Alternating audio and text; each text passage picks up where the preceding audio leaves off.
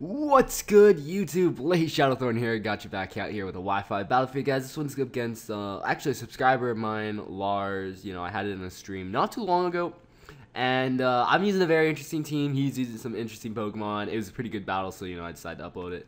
You know, I was looking through my uh, box. He said he wanted a mixed tier battle. You know, nothing too serious. So I was looking through here. I was like, you know what? I really want to use Diancie again. I haven't used it in a while, and I remember uh, Sork gave me one, and I really like using Diancie, and I think it's pretty neat Pokemon. And I got Diancie, and I saw Rock, I was like, you know what? I haven't done a mono team in like forever, and everyone just completely destroys Mono Rock for being like the worst thing in the world. So you know what? I'm gonna make a Mono Rock team. I'm gonna prove them wrong. I'm gonna make a Mono Rock team and see how well it does. And uh, in hindsight, looking at the team, it is legitimately terrible. I brought like three choice banded Pokemon because my Sudowoodo's choice banded, my Tyran Tyranitar is choice banded, and my Terrakion is choice banded, and then I have like a, uh, a set of Dragon Dance, um, Tyrantrum, you know, Rocks, specially offensive, uh, Diancie, and then an Aurorus, because Aurorus is cool, right? Yeah, Aurorus is cool. Anyways, gonna be leading off my Sudowoodo, just because, uh, I feel it's the best lead I have for it. Uh, leads off Staraptor. I kind of view this thing as a threat. Not really sure what it wants to do. He's just going to go straight away for close combat. That's fine by me. I do live because I have Sturdy. And I'm just going to pull out the, uh, the Choice Banded Explosion. And I see the lower defenses. So I'm thinking to myself, you know, Explosion's based uh, 250 power. Choice Banded, Sudowoodo, pretty powerful. Should be able to knock out the Staraptor, and especially with the minus defenses. And uh, I do. So, uh, sort of a big boom to start off the match, which you know is pretty sweet. Mm. Mm, mm, mm. Sorry about that. Anyways, it's gonna go out in the Klefki. I'm gonna go out my Terrakion. Not really sure what this Klefki wants to do. Well, I know exactly what this Klefki wants to do. It wants to two-wave, it wants to set up spikes, it wants to set up screens and be annoying. So, he's gonna paralyze me, and I'm like, don't get paralyzed, don't get paralyzed, don't get paralyzed. Gonna go for choice, banded, earthquake. Let's see how much it does.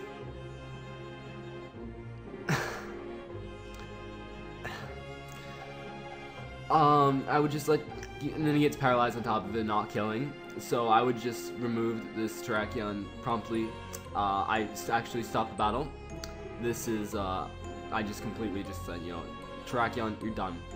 I uh, immediately release this Terrakion after this battle, and uh, we will never, ever, ever speak of this Terrakion ever again.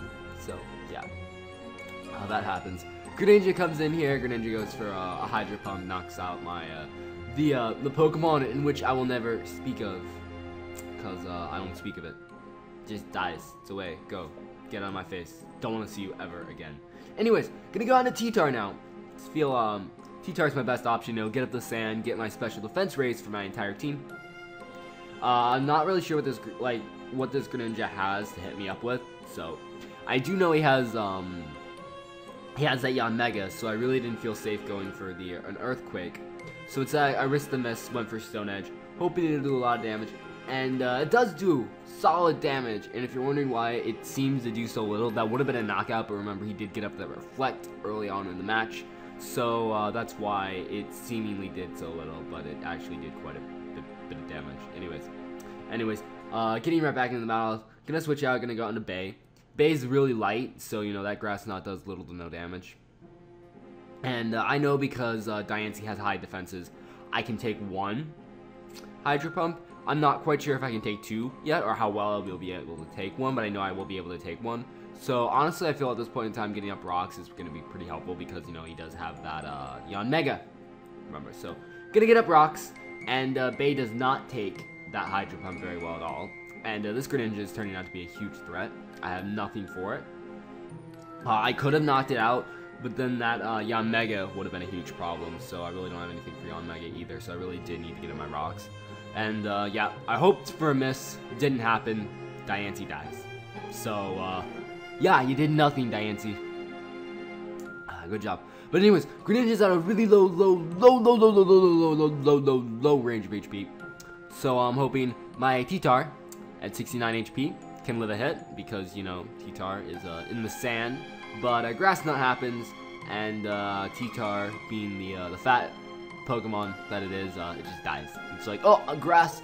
It's, it's the greatest weakness of uh, any Rock-type Pokemon is uh, tripping over a, uh, a knot made of grass, it just completely knocks them out. Anyways, gonna go out into my uh, Tyrantrum now. Uh, I know I can take one grass knot. Not sure how well again, but I am able to take it. And I do. I take it on 12 HP. And now I'm thinking, I get up a Dragon Dance, I'm like, alright, this is my chance for a comeback. I better outspeed this, um, this, uh, Greninja, or else I'm, I'm screwed, because my last Pokemon's Aurorus. And, uh, can't take shit, because Aurorus is garbage. And it's, uh, it's NU for a reason. Anyways, I do outspeed, able to knock out the Greninja, so, you know, that's, that's good, that's cool.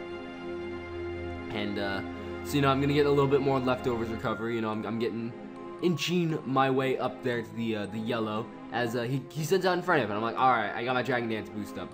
Should be able to outspeed this thing, uh, clean house. Any sashes, uh, potential sashes broken, but no. Not, it's scarfed in front of it. It's a scarf. So, um, just get bopped with close combat. And so now I have a chance. Not a very good one, but like I said before, I have a small chance.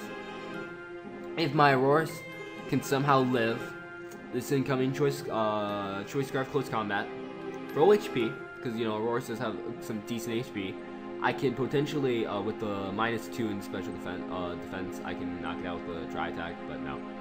Aurorus just dies, because Aurorus is useless, and uh, no one should ever use it. It uh, definitely gets Blaze Shadowthorn's stamp of disapproval, which uh, I don't really give to a lot of Pokemon, but uh, this one I'm giving it. So, you know, that was, uh, that was a good game. Lars, you know, I got a 3 0 you know, but even if I was somehow able to live the, the close combat with Aurorus and knock it out, he still has priority in the form of Aqua Jet, uh, so I still lost this game.